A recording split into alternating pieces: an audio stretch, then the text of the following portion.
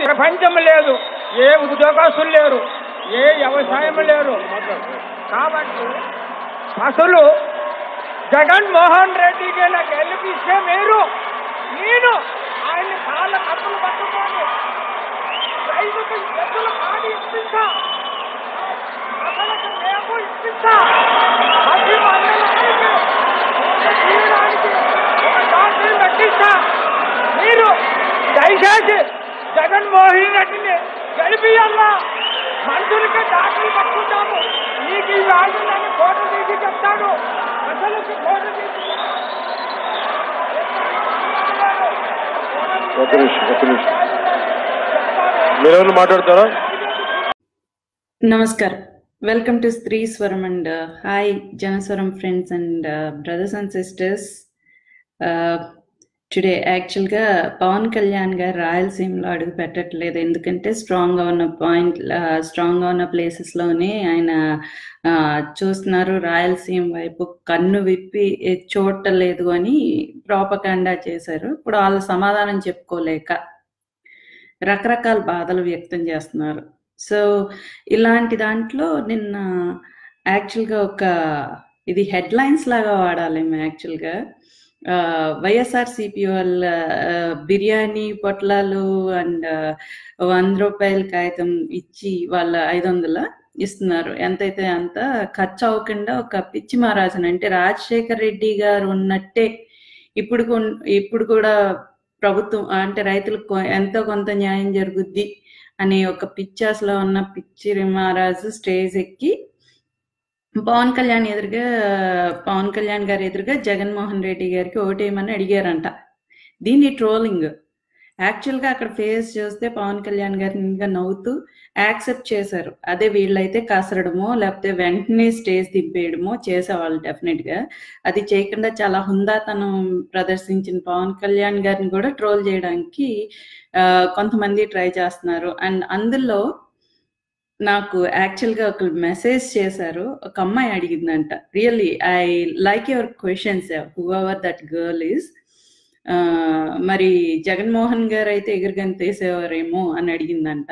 ఎందుకంటే ఒక ఆయన ఇచ్చిన ఆన్సర్ ఏంటంటే ఆ, మన జన సైనికులు అన్నప్పుడు నవ్వుతా హుందాగా తీసుకున్నారు పవన్ కళ్యాణ్ గారు అంటే ఈయన మనసులోకి దూరిపోయారంట. పవన్ కళ్యాణ్ గారు మనసులోకి దూరిపోయి మనోగతం కూడా చెప్పేస్తున్నారు. పైకి నవ్విన లోపల అంటే అవునా మీ జగన్ గారు అయితే ఎగిరి గంతేస్తారనమాట అని అడిగితే లేదు హత్తుకునేవారు అని అడిగితే ఆ అమ్మాయి స్ట్రైట్గా నిన్న జరిగిన గుంటూరు సంఘటన గురించి మెన్షన్ చేసిందంట. మరి గుంటూరు దాని గురించి ఏం సమాధానం చెప్పారంటే ఆయన? ఎల్లో మీడియా చేసింది. వెంటనే తోసేశారు పక్కకి. వీళ్ళు అంటే ఇది ఇంకా కన్ఫర్మ్ కాలేదు ఎవరు చేశారు అనేది different story but yellow media వాళ్ళు చేశారు అంటే అవునా? మరి అది ఖండించిన విషయం జగన్ గారు మీడియాలో మాకు ఎవరికి లింక్ దొరకలేదు. మరి ఆ, వీడియో ఉంటే షేర్ చేయమని అడిగిందంట. వాళ్ళ దగ్గర నుంచి ఏం సమాధానం వచ్చిందో నాకు ఇంకా అప్పటి వరకు అప్డేట్ ఉంది కానీ ఇంకా అంతకు మించి అప్డేట్ లేదు. సో డెఫినెట్గా గుడ్ జాబ్ అండి. ఎవరైతే ఈ క్వశ్చన్స్ అడిగారో డెఫినెట్గా గుడ్ జాబ్ అండ్ ఖండించలేదు అంటే వాళ్ళు అంగీకారమే కదా. వీళ్ళు చెప్పేస్తారంట. పైగా ఏంటంటే మేము చెప్పాం కదా ఎల్లో మీడియా అని. అంటే మనం చెప్పాం కదా జగన్మోహన్ రెడ్డి గారి కార్యకర్తలు ఈ దాడి చేశారని మనం కూడా చెప్పాం కదా. అంటే ఎవరు కరెక్ట్? మనమే కరెక్ట్ అని మనం అనుకుంటున్నాం కదా. అసలు ఎవరైతే ఉన్నారో పెద్ద నాయకులు ఎవరైతే ఉన్నారో వాళ్ళు ఖండిస్తే అది వాళ్ళు చేసిందా కాదా అనేది అర్థం అవుతుంది కానీ కార్యకర్తలు ఎన్నైనా చెప్తారు అనే విషయం వాళ్ళు తెలుసుకోవట్లేదు. కార్యకర్తలు మన ఒక పార్టీ మీద ఉన్న అభిమానంతో నేను నేను జనసేన సమర్థిస్తున్నాను. అండ్ జన సైనికులు క్రమశిక్షణతోనే చాలా సం సమన్వయంగా ఉన్నారనే విషయం వాళ్ళకి తెలుసు. అండ్ నిన్న ఎక్కడ ఏదో డిబేట్లో ఏ పార్టీ పడితే వాళ్ళు స్వచ్ఛందంగానే వచ్చారు అని. ఓ పక్క నుంచి పవన్ కళ్యాణ్ గారికి డబ్బులు లేవు అని చెప్తున్నారండి వీళ్ళందరూ. ఓ పక్క నుంచి వచ్చిన జనాలకి డబ్బులు ఇచ్చి మరీ తెప్పిస్తున్నారు అని వీళ్ళే ప్రచారం చేస్తారు. అది ఎలా పాసిబుల్ అనేది నాకు అర్థం కావట్లేదు. స్వచ్ఛందంగా ఎవరికాలు రాకపోతే పవన్ కళ్యాణ్ గారికి డబ్బులు లేకపోతే ఎక్కడి నుంచి ఫండ్స్ వస్తాయంటారు మాట్లాడితే ఇంకొక విషయం ఏంటంటే వీళ్ళు మాట్లాడే ఇంకొక అర్థం పద్ధం లేని ఒక విషయం ఏంటంటే ప్యాకేజ్. పోనీ ఎంత ప్యాకేజ్ చెప్పాలి కదా అదే జగన్ గారిది అయితే లిస్ట్ కోర్టులో ఉంది. ఎంత అక్రమార్జనంలో ఉన్నాయి ఎన్ని కేసులు ఉన్నాయి ఏమేమి ఉన్నాయి అనేది విట్నెస్ ఉంది. పోనీ పవన్ కళ్యాణ్ గారికి ఒకటి విట్నెస్ ఎంత ప్యాకేజ్ తెలుగుదేశం నుంచి తీసుకున్నారో మీరు తీసుకురండి. చెప్పండి ఇంత ప్యాకేజ్ అని అట్లీస్ట్ అమౌంట్ చెప్పండి ఎన్ని కోట్లు తీసుకున్నారో దాన్ని ఏ రకంగా స్పెండ్ చేశారో మీరు చెప్పండి. చెప్పిన తర్వాత ప్యాకేజ్ అనండి. సో ఒక పక్క నుంచి డబ్బులు లేవంటారు ఒక పక్క నుంచి ప్యాకేజీలు అంటారు పక్క నుంచి మీరు మాట్లాడే మాటకి మీకే అర్థం ఉందా లేదా అనేది మీరే తెలుసుకోండి.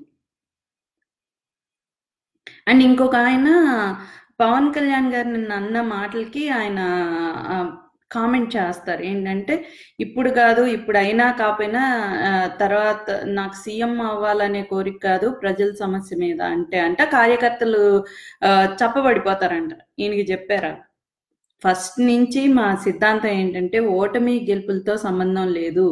ప్రజా సమస్యలు ఏ రకంగా తీర్చాలి ప్రజలకి ఏది మంచి అనేది మా జనసేనాన్ని ఆలోచించేది అండ్ ఆ సిద్ధాంతాల్ని మేము ఫాలో అయ్యేది.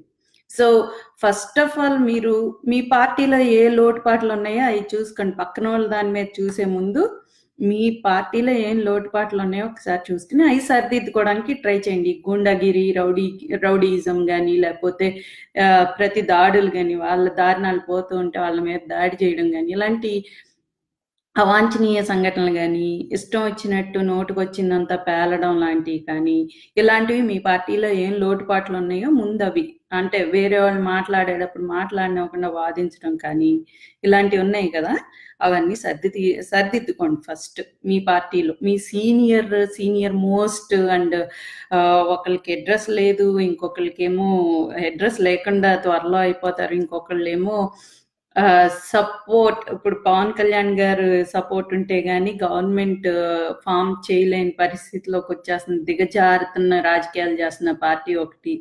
వీళ్ళందరూ దయచేసి మీ పార్టీలో ఉన్న లోటుపాట్లు ఏమున్నాయో అవి సరి చేసుకోండి. దట్స్ బెటర్ ఫర్ యూ మాకు చెప్పే ముందు. అండ్ ఏదైనా ఉంటే సమస్య లేకపోయినా వచ్చేసి బయటకు వచ్చి ప్రతిపాదన చేస్తారే మీ స్త్రీలు ఎవరైనా నిజంగా సమస్య వచ్చినప్పుడు దాని మీద రియాక్ట్ అవ్వమని చెప్పండి. ఆ ఫ్రీడమ్ మీ పార్టీలో ఉన్న స్త్రీలకు ఇవ్వండి. మా పార్టీలో ప్రతి ఒక్కరికి మీరు చూసారు రీసెంట్గా పవన్ కళ్యాణ్ గారు ఏ ఏ క్యాడర్లో ఎవరిని పెట్టారో స్త్రీలకి ఎంత ఇంపార్టెన్స్ ఇచ్చారో చూసారు కదా. చూసిన తర్వాత కూడా మీరు ఇలాంటి మాటలు అవాకులు చవాకులు పేలుతున్న పెద్దలు ఎవరైతే ఉన్నారో మీ పార్టీలో స్త్రీలకి ఎంతవరకు ఫ్రీడమ్ ఉంది వాళ్ళు ఎంతవరకు చేయగలరు అనేది కూడా చూసుకుని అలాంటి లోటుపాట్లు ఉంటే భర్తీ చేసుకోండి. తర్వాత జనసేనకి పేర్లు పెట్టచ్చు. ఏదో పిలిచారు కదా అని డిబేట్లో లో మనకి అర్థం పర్థం లేకుండా మన పార్టీలో ఉన్న లోటుపాట్లు చూసుకోకుండా పక్కనోడు ఏముంది అని. అదే మీకు ఎలా మీరు ఎలాంటి మెంటాలిటీస్ అంటే తెల్ల పేపర్లో ఇంకు చుక్కేసి ఇచ్చి ఇందులో ఏం కనబడుతుంది అంటే మీకు ఆ మచ్చే తప్పితే వైట్ పేపర్ మొత్తం రాసుకోవడానికి యూజ్ అయ్యే ఒక వైట్ పేపర్ అని మాత్రం మీకు తెలియదు అలాంటి మెంటాలిటీస్ అండ్ uh, జన్ సైనికులకి నా హంబుల్ రిక్వెస్ట్ ఏంటంటే ఈరోజు కొన్ని ఫేస్బుక్ లోను నెక్స్ట్ వాట్సాప్ గ్రూప్లో ఒక న్యూస్ విన్నాను. ఒక పరాయి వ్యక్తికి చెందిన పరాయి వ్యక్తిని చేసుకోపోతున్నా అంటే సగం పెళ్ళైపోయిన ఆ లేడీ గురించి మనకి ఏ సంబంధము లేదు. అంటే సగం పెళ్ళి అయిపోయింది ఆల్రెడీ ఆవిడకి. సో ఆవిడ ఏదన్నా చేసుకుంటే గనక మనకి సంబంధం లేదు. ఏ రకమైన సంబంధం మన పార్టీకి కానీ మన పార్టీకి చెందిన వ్యక్తులకు కానీ ఆవిడతో ఏ సంబంధం లేదు. ఎందుకంటే జస్ట్ ఆవిడ ఒక పరాయి వ్యక్తికి కాబోయే భార్య అండ్ త్వరలో ఆయనకి సగం పెళ్ళైపోయింది అనే అర్థం ఎంగేజ్మెంట్ అయింది అంటే త్వరలో ఆయనకి వైఫ్గా అవుతున్న ఆవిడ ఆవిడ ఇష్టం. అంటే ఇక్కడ నేను మ్యారేజ్ కౌన్సిల్లో ఎప్పుడైనా కౌన్సిలింగ్ చేస్తున్నప్పుడు ఎక్స్ అనే వర్డ్ వాళ్ళు యూజ్ చేయడానికి ఇష్టపడరు. ఎందుకంటే వ్యక్తిత్వం ఉన్న ఎవరైనా సరే ఎక్స్ అని వాళ్ళ ఐడెంటిటీ వీళ్ళకి టచ్ చేయడం కానీ ఇష్టపడరు. సో డెఫినెట్గా ఆవిడకి ఆ- ఆత్మాభిమానం ఉందని అనుకుంటున్నాను. సో ఎక్స్ కానీ మాజీ కానీ వాడితే ఆవిడ ఒప్పుకోరు. సో డెఫినెట్గా ఆవిడ గురించి మనం రియాక్ట్ అవ్వాల్సిన అవసరం లేదు. ఎందుకంటే ఆవిడకి ఆల్రెడీ ఎంగేజ్మెంట్ అయిపోయింది. ఇంకో వ్యక్తితో మ్యారేజ్ అవ్వబోతుంది కాబట్టి ఆవిడకి మన పార్టీకి సంబంధించిన ఏ వరమైన వ్యక్తి వ్యక్తులకి కానీ సంబంధం లేదు కాబట్టి దయచేసి అలాంటి పోస్టులు కూడా మనం పెట్టడం అనవసరం అనేది my personal feeling so definitely just ignore the issue ఆవిడ యాంకర్గా చేసుకోవచ్చు లేకపోతే ఆవిడ ఇంకో షోస్ చేసుకోవచ్చు. Because she has her own identity as director actor and everything so మాజీగా ఎక్స్గా చెప్పడానికి ఆవిడే ఇష్టపడరు కాబట్టి డెఫినెట్గా మనం మాట్లాడి మనం అనవసరంగా ఇష్యూ తీసుకురావడం అనేది కూడా అనవసరం. వాళ్ళ అప్ టు దెమ్ అంటే చీప్ పాలిటిక్స్ చేయాలి అనుకుంటే వాళ్ళ అభిప్రాయం వాళ్ళ ఉద్దేశం వాళ్ళ నిర్ణయం. సో మనం మాత్రం డెఫినెట్గా పరాయి వ్యక్తుల గురించి మనం మాట్లాడటమే అనవసరం అనేది నా పర్సనల్ ఫీలింగ్ అండ్ గుంటూరు విషయంలో ఎవరు ఇప్పటి వరకు చెప్పలేదు కాబట్టి ఇద్దరు వైపు నుంచి వాళ్ళు కుమ్మక్కయ్యి తెలుగుదేశం పార్టీ కావచ్చు జన్ వైఎస్ఆర్సిపి కావచ్చు కుమ్మక్కయ్యి చేసిన ఒక కుట్ర అనేది మనకి హైలైట్గా తెలుస్తుంది. అండ్ వాళ్ళిద్దరికి రిక్వెస్ట్ నా రిక్వెస్ట్ ఏంటంటే పర్సనల్గా అక్కడ ఉన్న ఆడవాళ్ళు సింగర్స్ ఎస్పెషల్లీ ఆవిడ నోటికి తగిలి పళ్ళు వరుస కదిలింది అండ్ ఆవిడ మాట్లాడలేకపోతున్నారు. ఇలాంటి వాళ్ళ పొట్ట కొట్టి మాత్రం గెలవాలి అని ఒక దురాశతో మీరు ఉండొద్దండి. ఎందుకంటే అలాంటి ఏదైతే దిగువ మధ్య తరగతి ప్రజలు ఉన్నారో వాళ్ళే ఇలాంటివన్నీ బాగా ఆలోచిస్తారు. ఎడ్యుకేటెడ్ అంటే కొంతవరకు ఇన్ని రోజులు ఎలాగ సాగిందో మంది కూడా ఇంకా ముందు కూడా అలాగే సాగుద్దిలే అని ఆలోచించే ఒక ఆలోచన అయితే ఉంటది. కానీ దిగువ మధ్య తరగతి మధ్య తరగతి కుటుంబీకులు ఇలాంటి సంఘటనలు చూసారంటే మీరు ఖండించకపోతే అది మీరే బాధ్యులని ఖచ్చితంగా తలుస్తారు. అండ్ డెఫినెట్గా వాళ్ళకి ఎవరికి ఓటేసి గెలిపించాలి అనేది వాళ్ళు నిర్ణయం తీసుకుంటారు. సో అలాంటి వాళ్ళు పొట్ట కూటిని కొట్టారు అంటే కనుక మీకు ఆ ఉసురు తప్పకుండా తగులుతుందండి. డెఫినెట్గా తగులుతుంది అంటే అది ఏ పార్టీకి చెందిన ఆడవాళ్ళని కానీ లేకపోతే చిన్న పిల్లల్ని కానీ గాయపరిచారు అంటే వాళ్ళని ఏడిపించారు అంటే అది డెఫినెట్గా తగులుద్దండి. అది ఇప్పుడు నేను ఏదో సెంటిమెంటల్ గానో లేకపోతే ఇది జరగదు అని కాదు.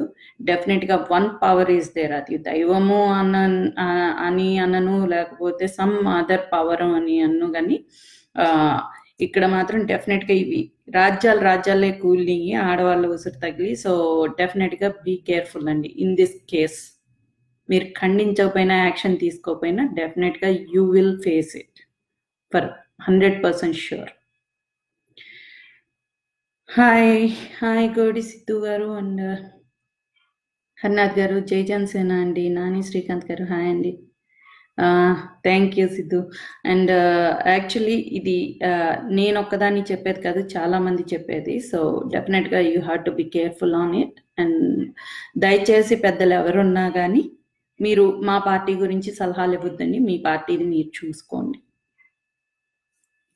జై జనసేన జై హింద్.